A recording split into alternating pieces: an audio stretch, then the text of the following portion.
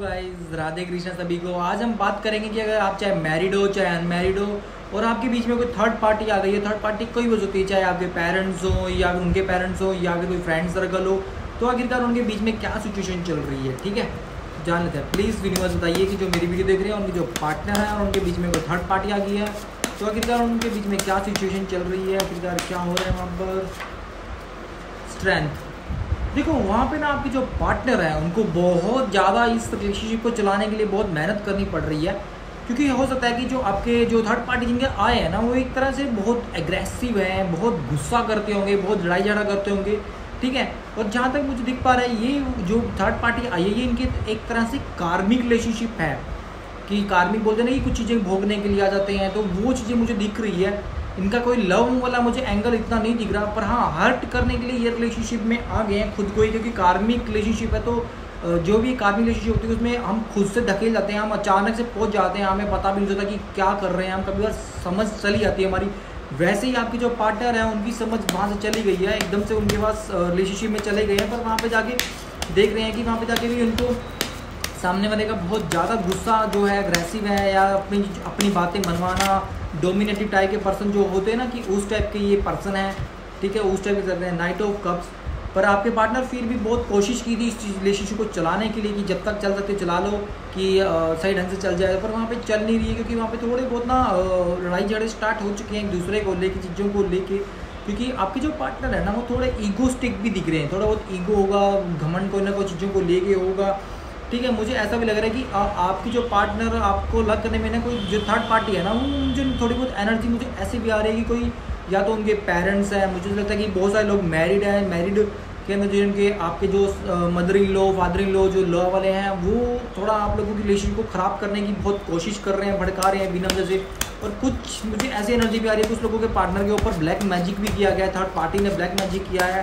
कि अपने वश में किया जाए कि हमारी बात माने ये हमारे हम इशारों पे नाचे हमारे इशारों पे चले तो उनके बीच में चल रहा है नाइन ऑफ़ कप्स तब भी आपके पार्टनर एकदम से चेंज हुए होंगे। पहले बहुत प्यार मोहब्बत से रहे होंगे बहुत प्यार भी लुटाया होगा आपके लिए। एक टाइम पे लिए एक टाइम पे ऐसे भी थे कि आपके लिए पूरी आ, सब कुछ लुटा दिया होगा इन्होंने आपके ऊपर कि ये भी ले लो चलो वो भी ले लो।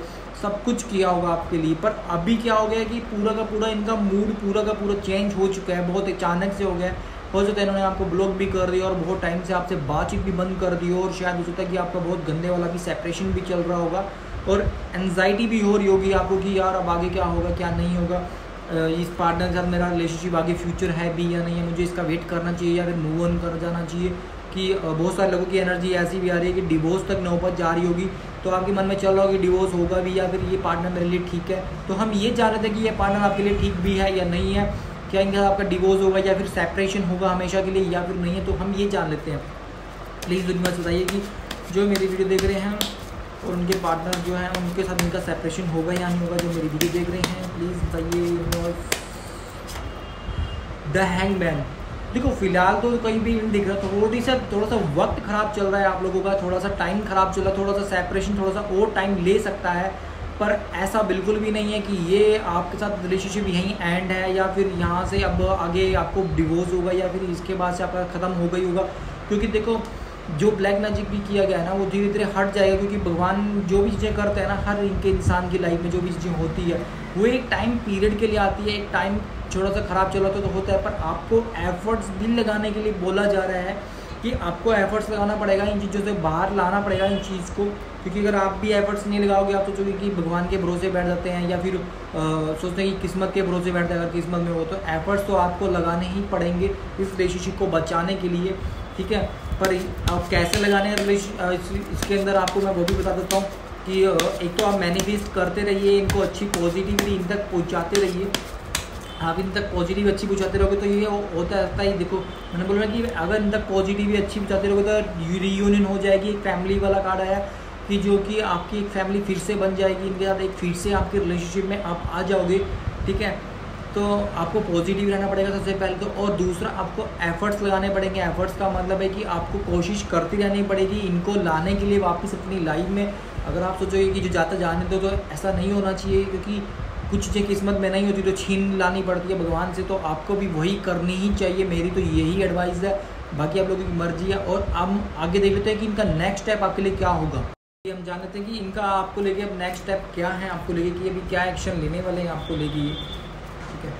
प्लीज़ इनको बताइए जो मेरी वीडियो देख रहे हैं। इनके जो पार्टनर नेक्स्ट एक्शन क्या लेने वाले हैं, इनको लेकर के प्लीज़ शिवशंकर जी बताइए। एट ऑफ़ कप्स देखो, अभी तो वो बहुत ज़्यादा, अभी मैंने बताया ना कि वहाँ पर भी इनका रिलेशनशिप सही नहीं चला, वहाँ पर भी थोड़े वो लड़ाई झगड़े स्टार्ट हो चुके हैं मतलब एक दूसरे को लेके थोड़ी वो दूरियाँ स्टार्ट होने लग गई है।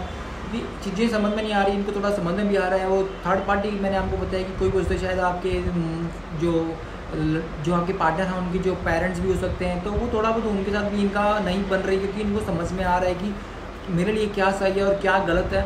और इन्होंने आपका एक टाइम पे प्यार देखा हुआ है, आपने बहुत ज़्यादा प्यार लुटाया जैसे कि एक माँ अपने बच्चे को प्यार करती है, वैसे वाला आपने इनको एक टाइम पे इतना प्यार दिया पर आप लोगों के बीच में मिसअंडरस्टैंडिंग भी मैंने देख रहा हूँ कि मिसअंडरस्टैंडिंग भी बहुत चीज़ों को लेके हुई है, जो कि किसी न किसी ने इनके कान भरे हैं, कोई ना कोई है, जो आप लोगों को अलग करने में बहुत बड़ा उसका हाथ रहा है थ्री वैंस देखो, अब वो आपका, फिर नेक्स्ट एक्शन तो यही होगा कि आपका वेट करेंगी वो। आपको देखो वो कॉल डायरेक्ट नहीं कर पाएँगे हो सकता है क्योंकि उनको थोड़ा बहुत गिल्ट भी, भी आएगा गिल्ट भी आएगा कि यार मैंने इनका गलत किया मैं किस मुँह से या जाऊँ इनके पास। तो उनको ये भी हो सकता है उनकी चीज़ें आपको लेके ठीक है? और नाइट ऑफ़ कप्स मैंने बोला ना कि वो आपकी तरफ़ एक्शन लेंगे आपकी तरफ़ आएँगे पर वो सोच समझ के आएँगे क्योंकि उनको डर रहा है कि कहीं ऐसा ना हो कि गिल्ट में है ये अभी तो आ जाएँगे नेक्स्ट एक्शन जब होगा इनका उधर से पूरा क्लियर होने वाला है कि धीरे धीरे होता रहे, हो जाएगा।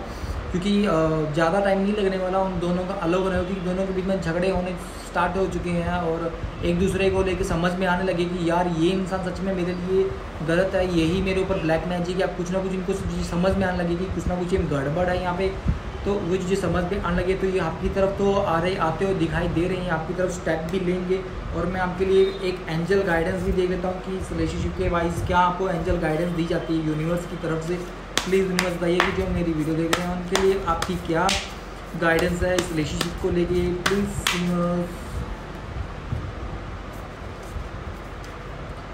bring love into the situation जो अभी सिचुएशन चल रही है ना, इसमें प्यार लाओ। मैंने बोलता हूँ कि एफर्ट्स तो आपको लगाने पड़ेंगे। प्यार तो आपको दिखाना ही पड़ेगा। अगर आप भी उधर से गायब हो जाओगे उनकी लाइफ से तो फिर देखो धीरे धीरे रिलेशनशिप तो खत्म हो ही जाएगा ना, क्योंकि आपको भी एफर्ट्स लगाने पड़ेंगे थोड़े बहुत तो। तो आ जाएँगे, पर यही आपके लिए यूनिवर्स गाइडेंस दे रहे हैं और प्यार मोहब्बत से रहो, बहुत पॉजिटिव रहो बहुत खुश रहो। डिप्रेशन में जाने से कुछ भी नहीं होगा, खुद की ही हेल्थ खराब जाएगी। इसलिए अपना ध्यान रखो और खुश रहिए और ये पॉजिटिव रहिए क्योंकि आपके पास जल्दी ही गुड न्यूज़ मिलने वाली है। ठीक है? अगे राधे कृष्णा जी सभी को